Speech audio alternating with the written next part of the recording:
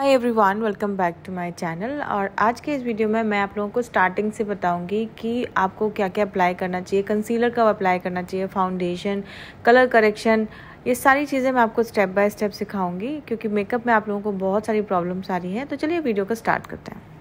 सबसे पहले स्टार्ट करते हैं हम हमेशा आपको हमेशा अप्लाई करना है अच्छी सी कोई भी मॉइस्चराइजिंग क्रीम अगर आपका मेकअप बहुत ज़्यादा ब्लैक हो जाता है या ग्रे पड़ जाता है या फिर फटा फटा सा दिखता है तो आपको यहाँ पर सबसे पहले आपको बहुत अच्छे से अप्लाई करना होगा। अच्छा सा मॉइस्चराइज़र यहाँ पर मैंने निविया का मॉइस्चराइज़र अप्लाई किया है। नाउ नेक्स्ट मैं अप्लाई करूँगी प्राइमर प्राइमर हम हमेशा मेकअप के पहले अप्लाई करते हैं मॉइस्चराइज़र के बाद, क्योंकि प्राइमर से मेकअप जो होता है वो लॉन्ग लास्टिंग रहता है और स्किन में भी बहुत ज़्यादा हार्मफुल केमिकल्स जो होते हैं फाउंडेशंस में कंसीलर में, वो सारी चीज़ें भी प्राइमर अपने स्किन से बचाता है। ना नेक्स्ट यहाँ पर मैं कर रही हूँ, अब एल प्रो का मैंने यहाँ पर ऑरेंज कलर का कलर करेक्शन लिया है। जब भी आप फाउंडेशन अप्लाई करेंगे, उससे पहले बहुत इंपॉर्टेंट है कि आप अपने क्लाइंट के फेस पर चेक कर लें कि अगर कहीं पर डार्कनेस है तो आपको ऑरेंज कलर के कलर करेक्शन से करेक्ट करना होता है।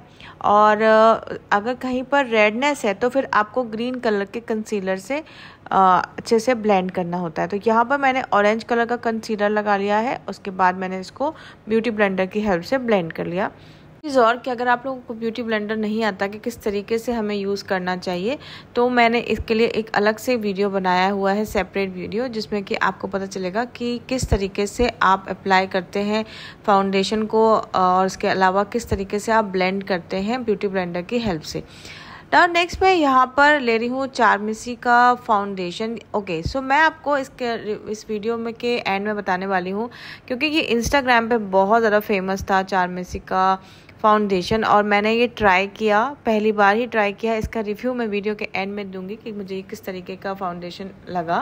सो so, मैंने इसको अच्छे से अप्लाई पूरे पूरे फेस पर अच्छे से एक ब्रश की हेल्प से अप्लाई कर लिया था। नाउ नेक्स्ट मैंने यहाँ पर ब्यूटी ब्लेंडर की हेल्प से अगेन ब्लेंड कर लिया। मैं ज़्यादातर कंसीलर फाउंडेशन जो भी होते हैं ये सारी चीज़ें जो फेस पर हम बेस बनाते हैं उनको मैं हमेशा ब्यूटी ब्लेंडर की हेल्प से ही ब्लेंड करती हूँ क्योंकि मुझे ब्रश की हेल्प से उतना अच्छा ब्लेंडिंग दिखती नहीं है। नाउ नेक्स्ट नेक्स्ट मैं यहाँ पर मिलानी का कंसीलर अप्लाई कर रही हूँ हाईलाइट जोन पर हाईलाइट जोन जो होते हैं वो अंडर आई एरिया पर जॉ लाइन के ऊपर ब्रिज ऑफ़ द नोज़ हल्का सा चिन पे और फोर हेड पे। ऐसा ये जो होती है, ये थ्री टेक्निक कहलाती है। इससे जितने भी आपके, जो भी आपको पार्ट इन्हेंस करना है बेसिकली हमारे फेस का जो इन्हेंसिंग पार्ट होता है, वो यही होता है जो जहाँ पर मैंने कंसीलर अप्लाई किया है। और अगेन मैं इस कंसीलर को ब्यूटी ब्लेंडर की हेल्प से ब्लेंड कर लूँगी।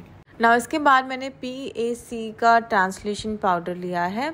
अब ये हम क्यों करते हैं? ये मैंने और भी अपने मेकअप वीडियोस में आप लोगों को समझाया है। ये इसलिए करना पड़ता है कि जिससे कि कोई भी फाइन लाइन्स रिंकल्स ना पड़े स्माइल लाइन्स भी ना पड़े और जो हमने फाउंडेशन और कंसीलर अप्लाई किया है, वो बहुत अच्छे से सेट हो जाए। मैं यहाँ पर स्टार्ट कर रही हूँ आई मेकअप आई मेकअप के लिए मैं यहाँ पर वाइट कलर का बेस अप्लाई कर रही हूँ। आ, ये मेरा क्राइलॉन का शेड है वाइट शेड आप चाहें तो नॉर्मल कोई भी कंसीलर अप्लाई कर सकते हैं। उसके बाद मैंने इसको भी अच्छे से आइस के ऊपर ब्लेंड कर लिया। ना इसको मैं इस कंसीलर को मैं अच्छे से कॉम्पैक्ट पाउडर की हेल्प से सेट भी ज़रूर करूँगी। ये स्टेप बहुत इंपॉर्टेंट है। अगर आपको अपना आई शेडो को लॉन्ग लास्टिंग रखना है और आपको दिखाना है कि पोपअप कलर दिखें क्योंकि मैं ये जो आज आई मेकअप करूँगी ये थोड़ा सा light makeup eye makeup light जो करने वाली मतलब आई मीन पिंक कलर का शेड करने वाली हूँ मैं अभी आपको दिखाऊँगी। तो वो जो होता है, वो हमेशा अगर आप कंसीलर या फिर इस तरीके का बेस नहीं अप्लाई करेंगे तो वो अच्छे से नहीं दिखेगा। तो स्टार्ट में हमेशा लाइट कलर से करती हूँ। तो मैंने अपने आई पैलेट से एक लाइट ब्राउन शेड लिया है, एक फ्लफ़ी आई ब्लेंडिंग ब्रश में। ना मैं इसको स्टार्ट करूँगी आउटर वी से और इनर कॉर्नर तक लेकर जाऊँगी कुछ इस तरीके से। आई शेडो जब भी मैं करती हूँ ना, आप अगर मेकअप की वीडियो अच्छे से देखोगे तो आपको बहुत ही ईजिली समझ में आएगा और मैं आईलेट तक लेकर जाऊँगी। बहुत ज़्यादा ऊपर भी नहीं उठाऊँगी। नाउ नेक्स्ट मैं यहाँ पर डार्क ब्राउन शेड लूँगी और उसको भी मैं सेम इसी तरीके से अप्लाई करूँगी और मैं ये सेंटर ऑफ़ द आइज़ पर अप्लाई करके अच्छे से ब्लेंड करूँगी दोनों आइज़ पर। मैं लूँगी यहाँ पर सेम आई शेडो पैलेट से light pink shade light pink shade लूँगी और इसको मैं अप्लाई करूँगी अगेन आउटर वी से आईलिड्स के ऊपर। आप देख सकते हो कि कितना अच्छा सा शेड आ रहा है यहाँ पर। ना नेक्स्ट पे यहाँ पर जो मेरे आई शेडो पैलेट में जो शिमर आई शेडो है मतलब बहुत ही ज़्यादा शिमर नहीं है, बिल्कुल हल्का हल्का सा प्रेस शिमर है, उसको मैं फिंगर टिप की हेल्प से सेंटर ऑफ़ द आइज़ पर अप्लाई करूँगी कुछ ऐसे। अब जितना भी मैंने ट्रांसलेशन पाउडर अप्लाई किया था, एक फ्लफ़ी ब्रश की हेल्प से मैं सारा ट्रांसलेशन पाउडर को हटा दूँगी। ना एक यहाँ पर टिप है जो भी बिगनर हैं और उनको आई लगाने में प्रॉब्लम आती है तो यहाँ पर आप काजल पेंसिल का यूज़ कर सकते हैं। मैंने यहाँ पर फेसेस कैनेडा की काजल पेंसिल को एज अ लाइनर अप्लाई किया है और उसके बाद एक एंगुलर ब्रश की हेल्प से अच्छे से स्मर्ज कर दिया। नाउ अब मैं थोड़ा सा आईज़ को इंटेंस लुक देने के लिए जो आ, ये भी अगेन मेरे आई शेडो पैलेट में ही ये शिमर वाला जो आई शेडो होते हैं वो है। और मैंने इसको एक फिंगर टिप की हेल्प से थोड़ा सा इंटेंस लुक करेगा सिर्फ़ सेंटर ऑफ़ द आईज पर अप्लाई किया है, कुछ इस तरीके से, जैसे कि आप वीडियो में देख रहे हो। चूँकि मेरी जो क्लाइंट है, उनकी आईब्रोज बहुत ज़्यादा लाइट थी तो मैंने यहाँ पर फॉर एवर फिफ्टी टू का ब्रो जेल लिया है और इसी का ही जो ब्रश आता है, उसमें एंगुलर ब्रश आता है, उसको मैं लेकर हल्का हल्का सा फिलअप करूँगी। मैं आप लोगों को जूम में इसलिए दिखा रही हूँ, जिससे कि आपको अच्छे से समझ आए कि मैंने कैसे आईब्रोज को सेट किया है। नाउ नेक्स्ट उसको मैं एक मस्कारा ब्रश की हेल्प से कॉम कर लूँगी। तो जितना भी एक्स्ट्रा जहाँ पर भी मैंने अप्लाई किया होगा, वो सही लगने लगेगा और बहुत ही ज़्यादा नेचुरल सी आईब्रो लगेंगी। यहाँ पर शुगर का ब्रॉन्जर यूज़ कर रही हूँ। फेस को थोड़ा सा यू नो स्कल्प लुक देने के लिए तो मैं यहाँ पर इस तरीके से जॉ लाइन को शार्प दिखाने के लिए, बहुत ज़्यादा इनके फेस पे ज़रूरत नहीं थी तो लेकिन बट मैंने स्टिल दिया, जिससे कि फ़ोटोज़ वगैरह अच्छे आते हैं। ऐसे टेक्निक्स आप भी अप्लाई कर सकते हैं। नेक्स्ट मैंने यहाँ पर फोर टू का ब्लशर यूज़ किया है और ब्लशर के बाद मैं यहाँ पर यूज़ कर रही हूँ हाइलाइटर ये भी again for ever fifty to का है।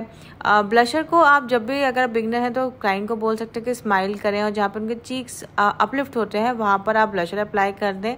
और हाइलाइटर के लिए भी सेम आप स्माइल करके करा सकते हैं। एक फ़ैन ब्रश की हेल्प से आपको हाईलाइटर अप्लाई करना होता है। हाईलाइटर हमेशा आप चिक बोन्स पर ब्रिज ऑफ़ द नोज़ पर चिन पर और हल्का सा फोरहेड पे अप्लाई कर सकते हैं। नेक्स्ट मैं यहाँ पर मस्कारा अप्लाई करूँगी लोअर लैशेस अपर लैशेस दोनों जगह। बिंदी भी अप्लाई कर दी है और उसके बाद मैं फ़ेक आई लैशेस अप्लाई कर रही हूँ। और अगर आप लोगों को ये जानना है कि फ़ेक आई लैशेस आप कैसे अप्लाई कर सकते हैं तो इसके मैंने अलग से छोटे छोटे वीडियो बनाए हुए हैं। वहाँ पर जाकर आप देख सकते हैं। ना यहाँ पर मैं लोरियल की लिपस्टिक यूज़ कर रही हूँ, जो कि एक ब्राउनिश टच में है, आप देख सकते हैं।